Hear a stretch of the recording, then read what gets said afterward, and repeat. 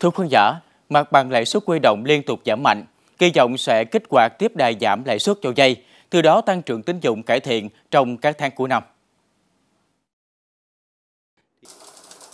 Theo biểu lãi suất niêm yết của các ngân hàng, hiện mức lãi suất huy động cao nhất là 7% một năm cho kỳ hạn 13 tháng. Ở nhóm ngân hàng quốc doanh như Agribank và Vietcombank thì lãi suất tiết kiệm xuống còn 5,5% một năm cho kỳ hạn từ 12 tháng trở lên. Trong khi đó, Vietinbank và BIDV đang niêm yết các kỳ hạn này ở mức 5,8% một năm. Đối với các sản phẩm tiết kiệm có kỳ hạn ngắn dưới 6 tháng, các ngân hàng đa số niêm yết mức lãi suất tối đa là 4,75% và chủ yếu trong khoảng từ 4 đến 4,75%. Các ngân hàng thương mại thì thừa tiền, trong khi nhiều doanh nghiệp lại đang khát vốn. Nghịch lý này đã chỉ đang xảy ra tại nhiều địa phương. Thực tế vấn đề này như thế nào và đâu là giải pháp để tháo gỡ bài toán tín dụng? Ghi nhận tại đồng bằng sông Cửu Long vừa nông sản của cả nước. Mỗi ngày, nhà máy này thu mua và chế biến khoảng 400 tấn gạo. Doanh nghiệp rất phấn khởi vì hoạt động kinh doanh hiệu quả, tài chính minh bạch và vừa được ngân hàng cho vay 50 tỷ đồng để thúc đẩy sản xuất. Có nguồn vốn lưu động thì nhà máy sẽ chủ động được lịch sản xuất, chủ động được lịch thu mua, chủ động lịch xuất hàng. Do đó là nhà máy sẽ đảm bảo được cái năng suất hoạt động của mình. Ở tăng cường thu mua, đẩy mạnh chế biến xuất khẩu đó là bước chuyển động của các nhà máy gạo ở đồng bằng sông Cửu Long khi tiếp cận được nguồn vốn kịp thời. Và qua đây cho thấy được hiệu quả trong công tác lãnh đạo chỉ đạo điều hành của chính phủ đối với các tổ chức tín dụng trong việc bơm mạnh nguồn vốn để thúc đẩy hoạt động sản xuất kinh doanh. Theo Ngân hàng Nhà nước, đến đầu tháng 9 này, tổng dư nợ cho vay lĩnh vực nông nghiệp đạt gần 535.000 tỷ đồng, tăng 6% so với cùng kỳ năm ngoái. Ngoài 4 ngân hàng thương mại nhà nước, các tổ chức tín dụng khác cũng đặc biệt quan tâm đầu tư mạnh vào lĩnh vực này. Thời điểm từ đầu năm đến giờ là với doanh số giải ngân là hơn 7.000 tỷ và cái dư nợ đạt được là hơn 2.800 tỷ và trong cái thời điểm từ đây đến cuối năm thì SHB Cần Thơ cũng dự kiến là cũng sẽ phát triển cái dư nợ từ 1.200 cho đến 1.500 tỷ à, tiếp tục đưa nguồn vốn vào thị trường để hỗ trợ các cái doanh nghiệp à, đặc biệt trong lĩnh vực là thủy sản và lúa gạo. Thường xuyên tổ chức những cái hội nghị kết nối giữa ngân hàng, doanh nghiệp, hiệp hội doanh nghiệp để cùng ngồi với nhau tìm ra những khó khăn, chia sẻ những khó khăn và giải quyết tận gốc những cái khó khăn của các doanh nghiệp, nhất là những cái dự án lớn, nhất là những doanh nghiệp lớn, những doanh nghiệp và lĩnh vực có tính chất lan tỏa hoặc là những cái lĩnh vực có tính chất cần được ưu tiên của chính phủ đặt ra. Vì đây là một trong những cái vấn đề không chỉ là ý nghĩa kinh tế, nó còn ý nghĩa xã hội ờ, đối với bà con nông dân ở khu vực đồng bằng sông Cửu Long. Trước tình trạng thiếu thừa nguồn vốn hay việc doanh nghiệp ngân hàng vẫn chưa gặp nhau, nhiều ý kiến cho rằng ngoài tăng hạn mức tín dụng, giảm lãi suất cho vay, các bộ ngành cần chung tay tháo gỡ khó khăn cho doanh nghiệp, người sản xuất trong việc tìm kiếm thị trường, tiêu thụ hàng hóa. Cần đầu tư tín dụng theo chuỗi giá trị nhằm hạn chế rủi ro, phát huy hiệu quả, thúc đẩy phát triển ngành nông nghiệp, trụ đỡ của nền kinh tế. Vai trò và giải pháp liên kết, sản xuất, chế biến và tiêu thụ sản phẩm nông nghiệp dùng đồng bằng sông Cửu Long đó là chủ đề của diễn đàn kinh tế thường niên thành phố Cần Thơ được tổ chức vào chiều nay. Phóng viên Quốc Thới thông tin chi tiết.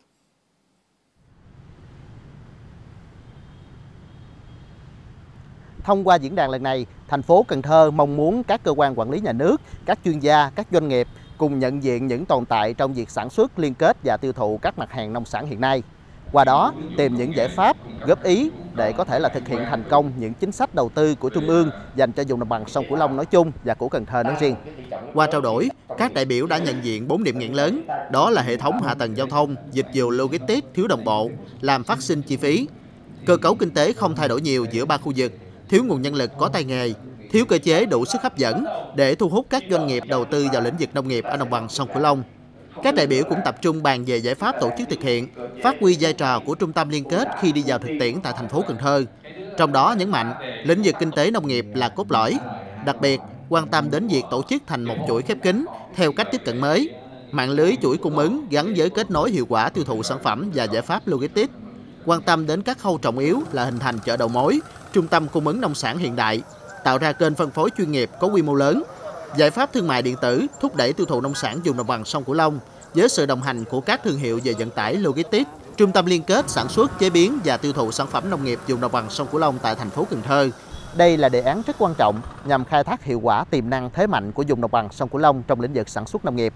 Hiện nay thành phố Cần Thơ đang khẩn trương hoàn thiện các thủ tục để sớm triển khai và đưa vào hoạt động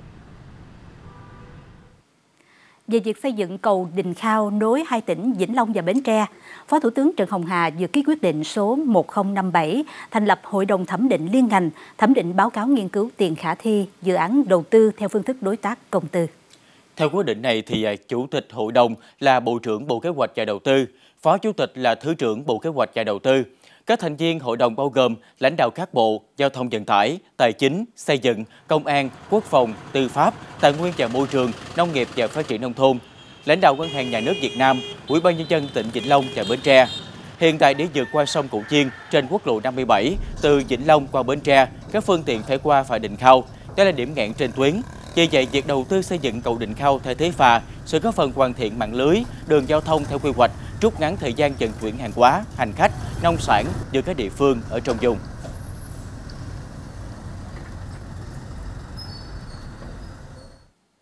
Văn phòng Chính phủ vừa ban hành thông báo kết luận của Phó Thủ tướng Chính phủ Trần Hồng Hà về bảo đảm nguồn vật liệu cho các dự án trọng điểm ngành giao thông vận tải khu vực đồng bằng sông Cửu Long. Thông báo nêu rõ, việc cung cấp cát của các chủ mỏ còn chậm, chưa đáp ứng tiến độ yêu cầu. Các tỉnh chưa xác định được đủ nguồn cung cấp, làm ảnh hưởng đến tiến độ triển khai các dự án, nhất là dự án cao tốc Bắc Nam phía Đông đoạn Cần Thơ Cà Mau đang phải thi công rất chậm. Để đảm bảo đủ vật liệu san lấp nền đường cho các công trình dự án trọng điểm ngành giao thông vận tải khu vực đồng bằng sông Cửu Long, Phó Thủ tướng yêu cầu các bộ ngành địa phương khẩn trương thực hiện một số nhiệm vụ, trong đó có việc xem xét phương án tận dụng nguồn vật liệu từ các dự án nạo vét, khơi thông luồng lạch, các cù lao cùng các giữa sông trên địa bàn để làm vật liệu san lấp phục vụ cho dự án cao tốc, trên cơ sở đánh giá kỹ tác động môi trường và dự án được duyệt theo quy định của pháp luật.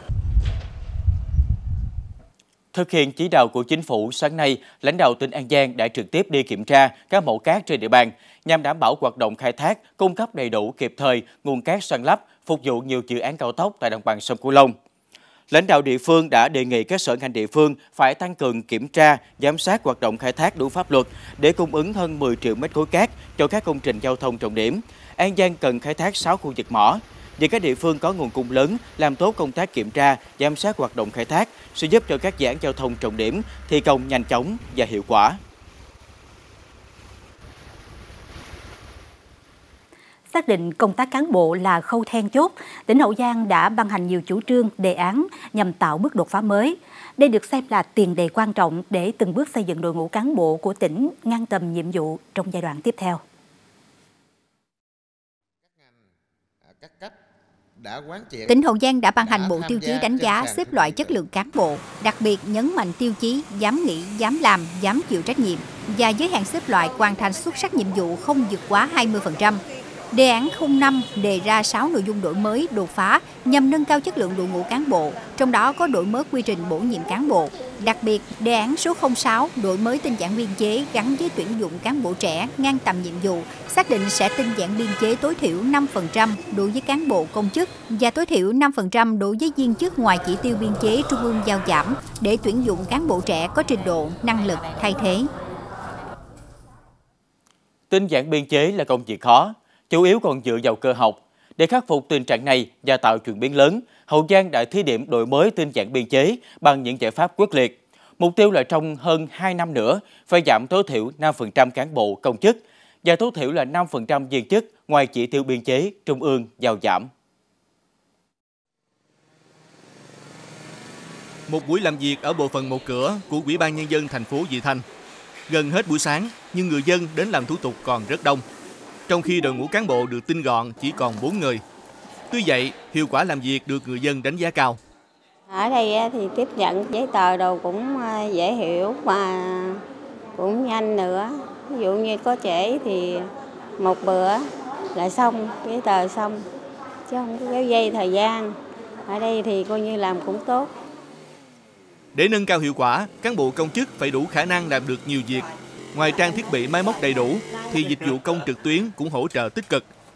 ATM hồ sơ nhận trả kết quả bất cứ lúc nào, giúp giảm tải áp lực cho đội ngũ. Người dân có yêu cầu thì có thể là trả hồ sơ qua máy 24 trên 7 nó sẽ à, nhanh hơn. Ví dụ như những ngày làm việc thì người ta đến người ta nhận hoặc là những ngày không làm việc người ta có thể đến nhận được. Ừ, không hạn chế thời gian. Thì đối với khối đảng ờ, chúng tôi thì đã tinh giản được hai biên chế còn đối với khối chính quyền thì ờ, đến thời điểm này đã ờ, tinh giản được 4 biên chế là cán bộ công chức và 29 biên chế viên chức. Với cái kết quả này thì cơ bản bước đầu thì đạt được cái kế hoạch đã đề ra. Hậu Giang có đội ngũ cán bộ khoảng 15.000 người với tuổi đời bình quân khá cao. Thế nhưng chỉ tiêu tuyển mới cán bộ thiếu và hiện cán bộ trẻ dưới 30 tuổi rất thấp, khoảng 10%. Do vậy, chỉ có quyết liệt tinh giản biên chế mới tạo được dư địa cho tỉnh tuyển dụng đội ngũ cán bộ kế thừa, có trình độ, năng lực đáp ứng yêu cầu nhiệm vụ trong giai đoạn phát triển mới. Khi mà tuổi đời bình quân của cán bộ cao, kéo theo đó là sự thiếu nhạy bén, chưa đáp ứng yêu cầu nhiệm vụ. Đó là điểm nghẽn, là một thách thức lớn của Hậu Giang. Chính vì thế, tỉnh đã xây dựng đề án 05 nâng cao chất lượng đội ngũ cán bộ, nhất là cán bộ lãnh đạo chủ chốt, ca cấp. Bước đầu đã mang lại hiệu quả. Thầy Toàn là giáo viên dạy môn hóa ở trường Trung học phổ thông Tầm Du. Vài năm trước, thầy đã tự túc học lên thạc sĩ để đáp ứng tốt hơn chương trình giáo dục phổ thông năm 2018. Đây là một trong 8 giáo viên vượt chuẩn của trường này. Trong quá trình học nâng cao trình độ chuyên môn như thế thì mình tham gia rất là nhiều cái à, hoạt động thí nghiệm thực hành. À, cho nên khi trở về trường phổ thông mình à, à, hướng dẫn cho các em à, tham gia các cuộc thi như là nghiên cứu khoa học kỹ thuật, sáng tạo thanh thiếu niên nhi đồng thì nó rất là thuận lợi.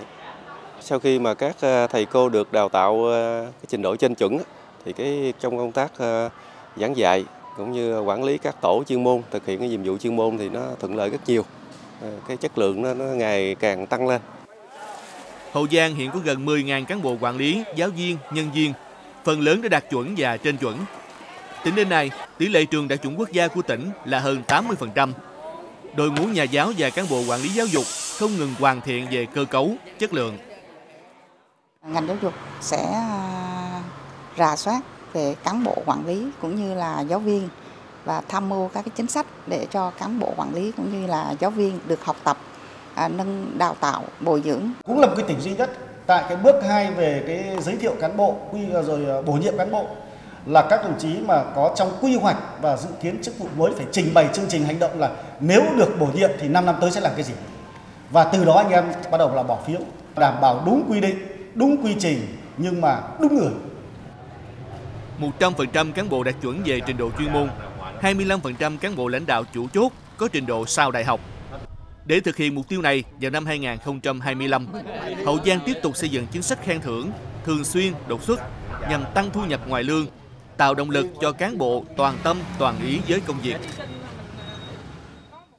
Cùng với thí điểm đổi mới tinh giản biên chế, Hậu Giang cũng đang xây dựng chính sách thu hút nguồn nhân lực, đề án vị trí việc làm để thực hiện quản lý biên chế, bố trí cán bộ phù hợp, đảm bảo tinh gọn và hiệu quả. Chuyển sang những thông tin đáng chú ý khác. Tại Đồng Tháp, gần đây xuất hiện nhiều trường hợp mắc bệnh đau mắt đỏ, từ trẻ nhỏ đến người lớn. Đáng chú ý, không ít trường hợp diễn tiến nặng theo ngành y tế thì à, mặc dù là căn bệnh thường gặp nhưng nếu chủ quan điều trị sai cách có thể dẫn đến những biến chứng nguy hiểm, thậm chí là ảnh hưởng đến chức năng thị giác. Trung bình mỗi ngày, Bệnh viện Đa khoa Đồng Tháp tiếp nhận điều trị từ 50 đến 60 trường hợp. Con số này tăng gấp 2-3 lần so với cùng kỳ. Trong đó có đến 40% ca xuất hiện các triệu chứng điển hình. Đáng chú ý, không ít trường hợp điều trị sai cách theo các chuyên gia y tế, bệnh đau nót đỏ có thể sẽ khỏi sau 5 đến 7 ngày điều trị. Tuy nhiên vẫn tiềm ẩn nhiều biến chứng nguy hiểm gây sẹo giác mạc, suy giảm thị lực. Do đó khi có biểu hiện của bệnh, người dân cần đến thăm khám và điều trị kịp thời.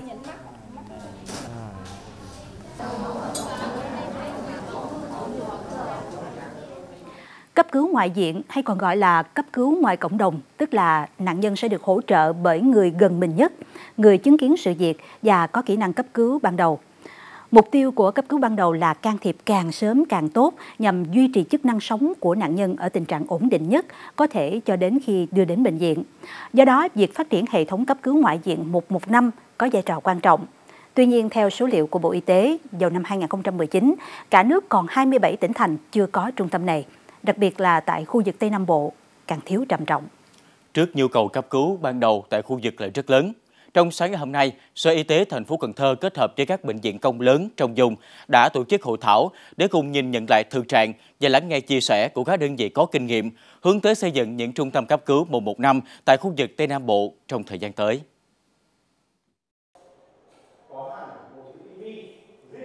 Theo quy trình của Trung tâm cấp cứu 115 hiện có tại thành phố Hồ Chí Minh thì bệnh nhân khi gặp sự cố sẽ gọi điện đến tổng đài.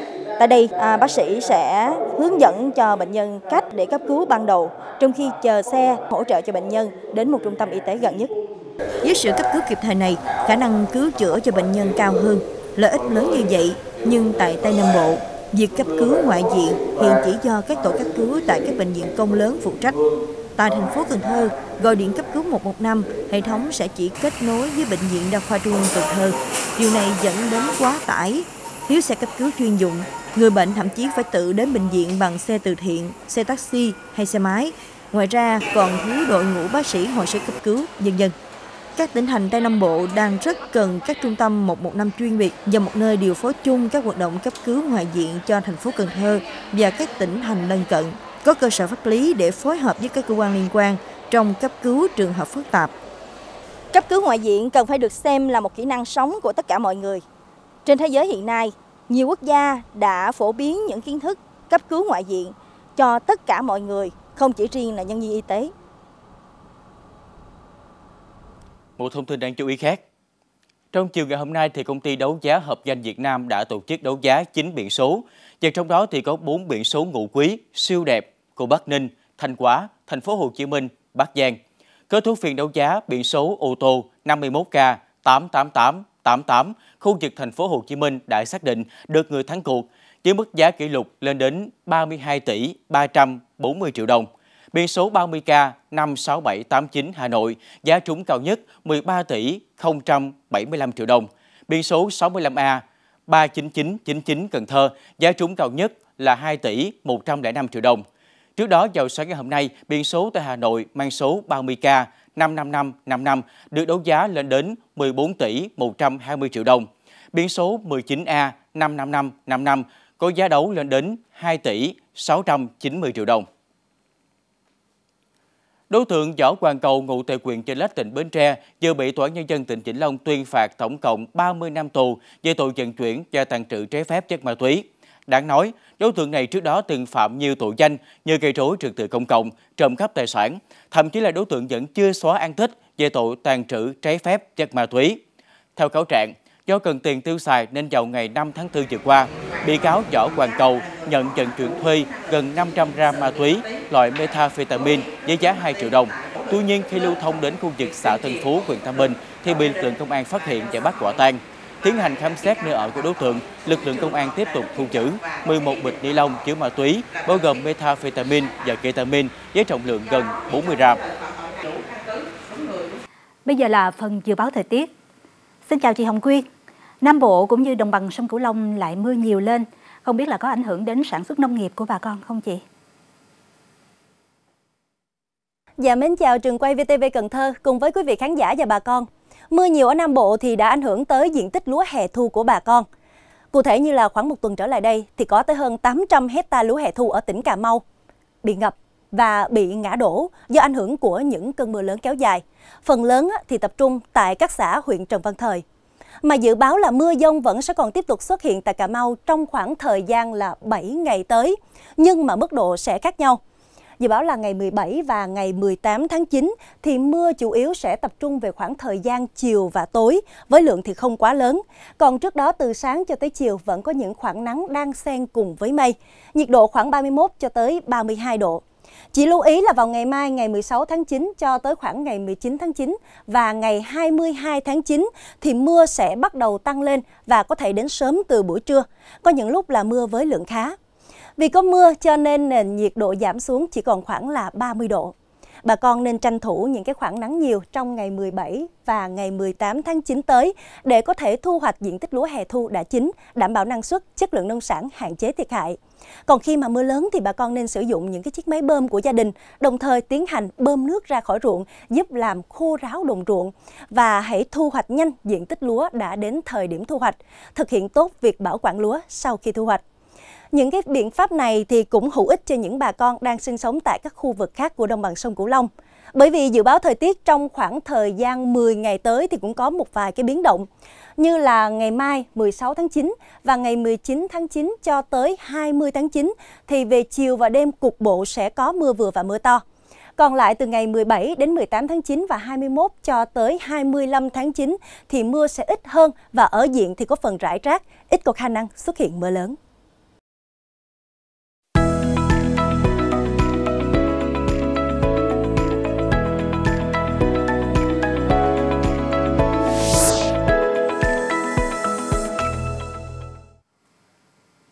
Thưa quý khán giả, Hậu Giang là tỉnh có diện tích nuôi cá thác lát cườm nhiều nhất đồng bằng sông Cửu Long.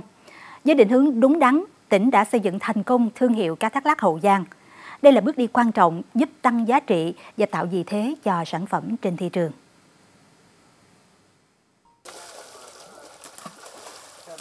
Hậu Giang có diện tích nuôi cá thác lát cườm nhiều nhất đồng bằng sông Cửu Long, ước tính gần 90 hecta, đạt sản lượng trên 6.000 tấn. Khẳng định được tiềm năng của cá thác lát, năm 2005, tỉnh Hậu Giang đã tiến hành các bước để đăng ký nhãn hiệu. Năm 2014, Cục Sở hữu trí tuệ đã cấp giấy chứng nhận bảo hộ độc quyền nhãn hiệu tập thể cho sản phẩm cá thác lát Hậu Giang do Chi cục Quản lý chất lượng nông lâm sản và thủy sản tỉnh Hậu Giang quản lý. Chi cục có thẩm quyền cấp phép cho các cơ sở sản xuất cá thác lát đủ tiêu chuẩn sử dụng nhãn hiệu cá thác lát Hậu Giang để in trên bao bì sản phẩm. Đây là bước quan trọng khẳng định chất lượng sản phẩm, tạo uy tín cho thương hiệu của doanh nghiệp trên thị trường. Nếu muốn đăng ký thương hiệu thành công thì phải có dùng nguyên liệu ổn định, dùng nguyên liệu chất lượng, đảm bảo về mặt an toàn vệ sinh thực phẩm, hướng dẫn cho người nuôi từng bước để tạo ra được một cái sản phẩm cá thác lát đạt cái chuẩn. Sau đó thì tới cái phần là các cái doanh nghiệp thu mua sơ chế chế biến phải hình thành cái hệ thống thu mua sơ chế chế biến xây dựng những cái cơ sở nhà xưởng để nó đạt cái tiêu chuẩn đảm bảo về mặt vệ sinh an toàn thực phẩm và thậm chí đạt cái tiêu chuẩn HACCP. Đây là đơn vị tiên phong sáng tạo ra những món ăn ngoài món chả cá thác lát từ những năm 90. Đây là tiền đề quan trọng giúp tạo ra ngành công nghiệp chế biến cá thác lát hiện nay. Từ quán ăn gia đình đến nay, nơi đây đã trở thành doanh nghiệp sản xuất lớn. Khi mà có cái nhãn hiệu rồi thì khách hàng đã nhìn vô đó là biết đây là chắc chắn đây là sản phẩm của có nguồn gốc từ Hậu Giang thì người ta sẽ yên tâm mua từ đó thì cái thương hiệu của mình cái uy tín của mình được nhiều người tiêu dùng biết đến thì cái thị phần khách hàng của mình nó sẽ mở rộng ra so với trước kia các sản phẩm mang thương hiệu cá thác lát Hậu Giang ngày càng được khẳng định vị thế trên thị trường, lượng tiêu thụ tăng cao, góp phần vào việc phát triển kinh tế nông nghiệp của địa phương. Tuy nhiên, để đảm bảo uy tín cho sản phẩm, cơ quan quản lý nhãn hiệu ngoài việc hỗ trợ trong công tác quảng bá, còn kiểm soát chặt chẽ chất lượng sản phẩm.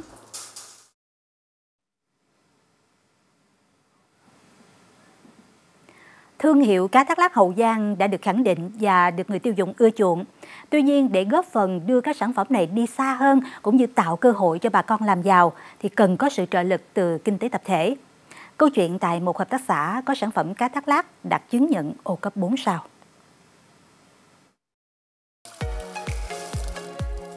Trung bình mỗi tháng, hợp tác xã Kỳ Như cung cấp khoảng 10 tấn cá thác lát thành phẩm ra thị trường nhiều siêu thị lớn ở Hà Nội, thành phố Hồ Chí Minh, Đà Nẵng, Cần Thơ, An Giang, Cà Mau đã ký kết với hợp tác xã nhập hàng lâu dài.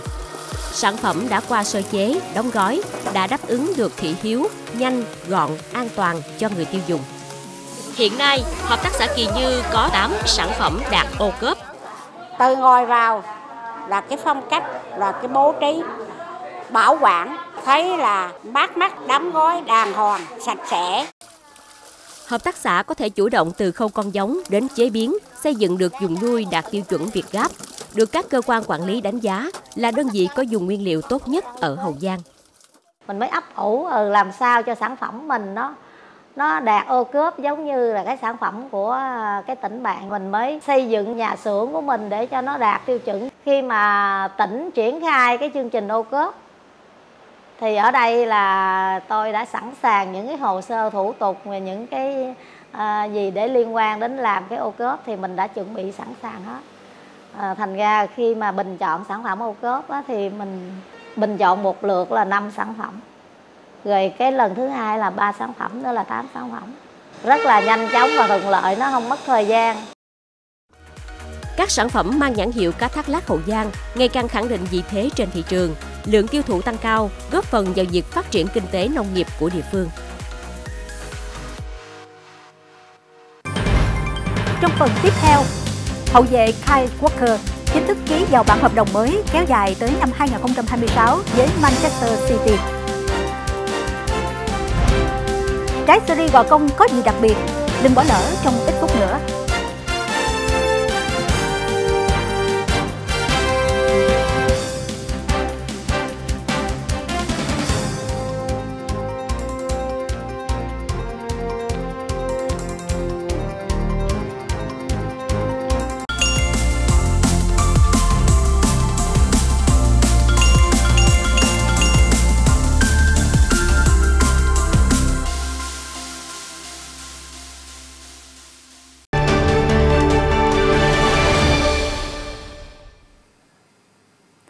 Bây giờ là 18 giờ 30. Quý khán giả đang theo dõi chương trình Miền Tây hôm nay buổi chiều. Chương trình đang được truyền hình trực tiếp trên kênh VTV Cần Thơ, Đài truyền hình Việt Nam.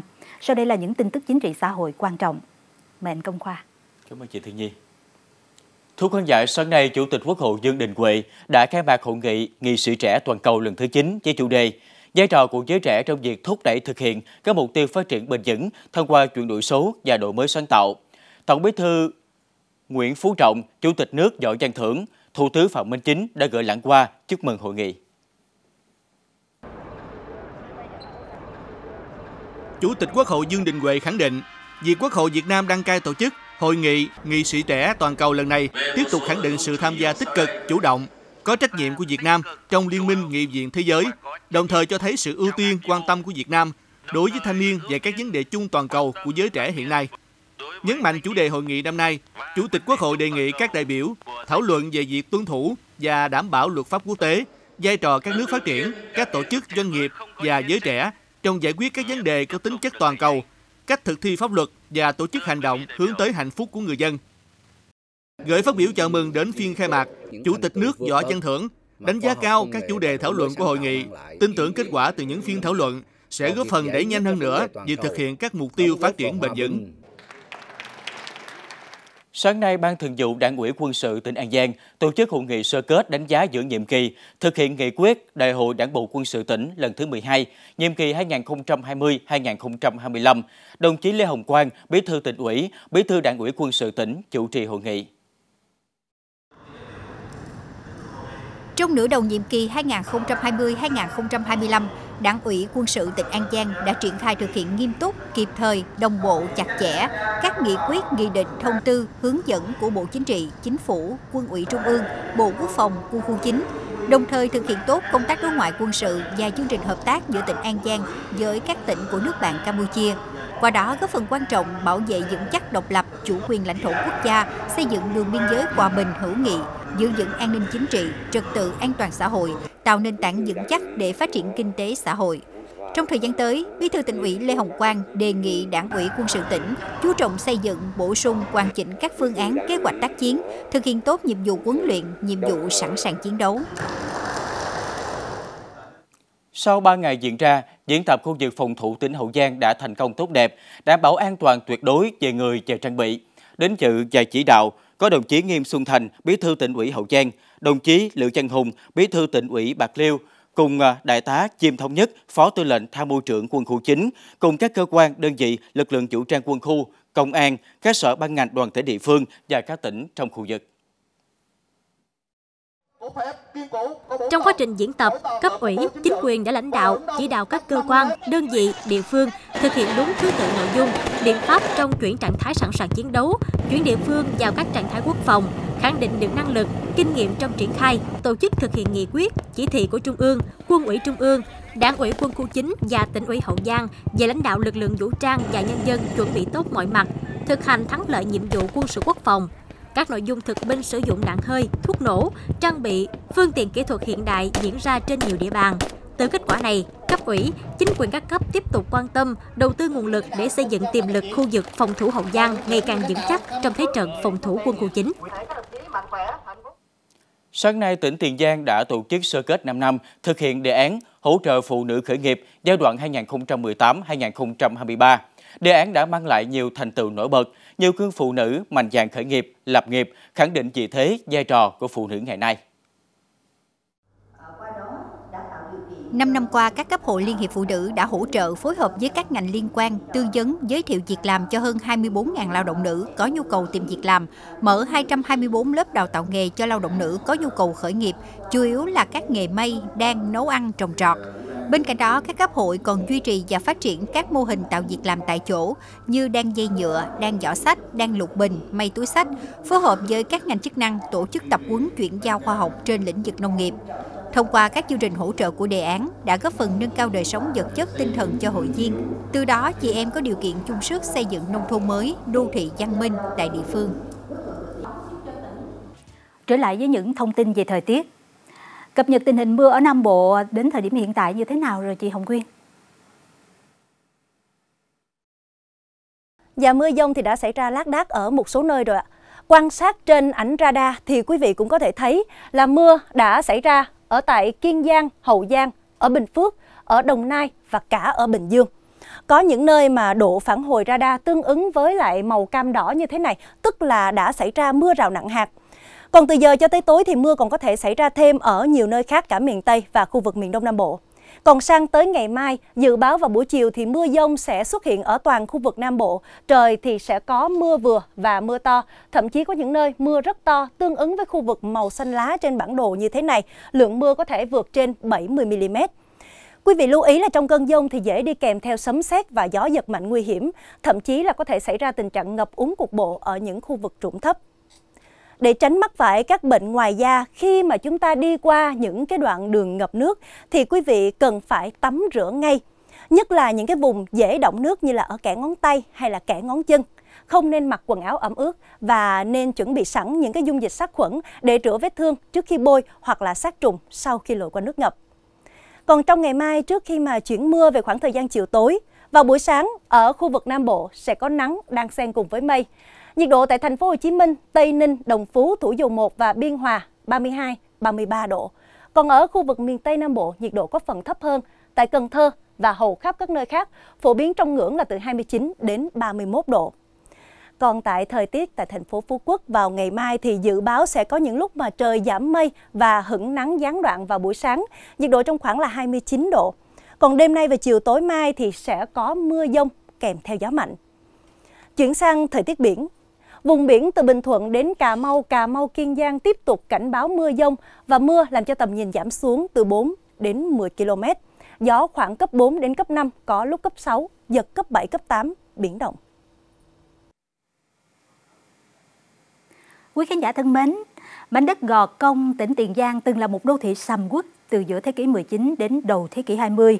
Nhưng đâu chỉ có dinh thự, đền chùa hay là những kiến trúc mang giá trị nghệ thuật.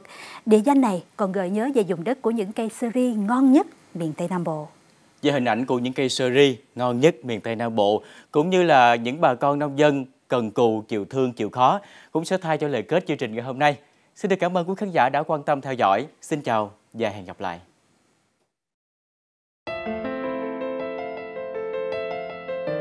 Cho đến nay, chưa có tài liệu nào khẳng định thời điểm cây sơ ri bén duyên trên đất Gò Công.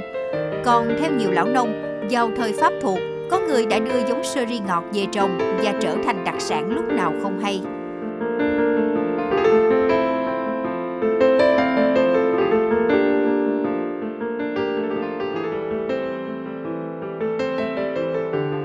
Trái sơ gò công lớn hơn ở những nơi khác không chỉ nhờ sự chăm sóc của nhà vườn mà còn nhờ thổ nhưỡng vùng này rất thích hợp.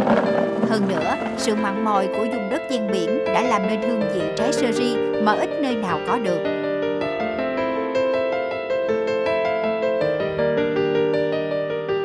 Rất là tự hào vì xứ sở của mình siri nó ngon, nó có hương vị ờ, đậm đà, ngon.